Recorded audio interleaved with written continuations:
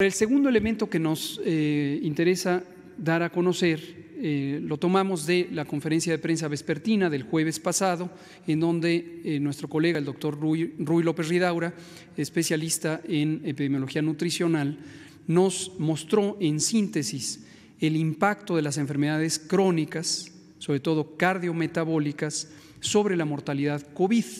para recordarnos la importancia de enormes epidemias de estas enfermedades que México tiene desde hace muchos años.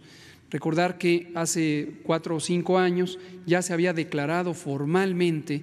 a la diabetes y a la obesidad como emergencias epidemiológicas. Emergencias epidemiológicas fueron declaradas formalmente y lo que posiblemente quedó pendiente es las acciones necesarias para enfrentar estas epidemias. Hoy que tenemos la epidemia de COVID,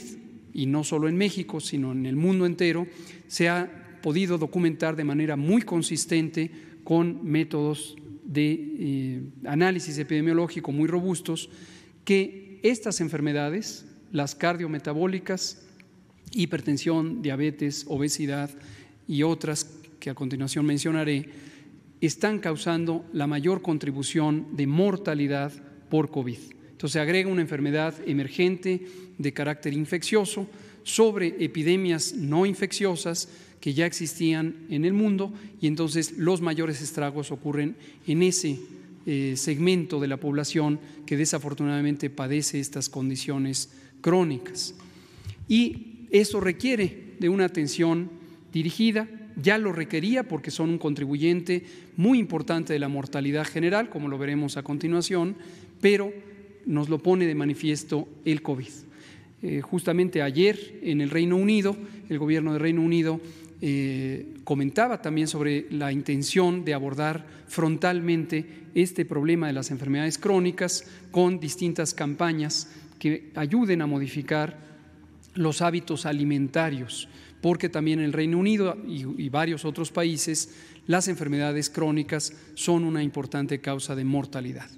Ahora, México es uno de los países del mundo entero que ha tenido las más importantes epidemias de sobrepeso, obesidad, eh, diabetes, enfermedad cardiovascular eh, en, todo el mundo. Hemos sido eh, por varios años ya sea el primero o el segundo de los países con las mayores prevalencias de obesidad y sobrepeso. Seguimos siendo el primer país en prevalencia de obesidad infantil con 35% de los eh, niños y adolescentes teniendo sobrepeso o bien obesidad. Primer país del mundo en la niñez y en la juventud. Regresando al tema de COVID y relacionándolo con esto, podemos ver en forma panorámica en esta diapositiva cuál es el lugar que ocupa México en comparación con otros países en términos de la mortalidad medida de la manera que debe medirse, que es por eh, de acuerdo a la población. Entonces, la mortalidad por 100.000 personas,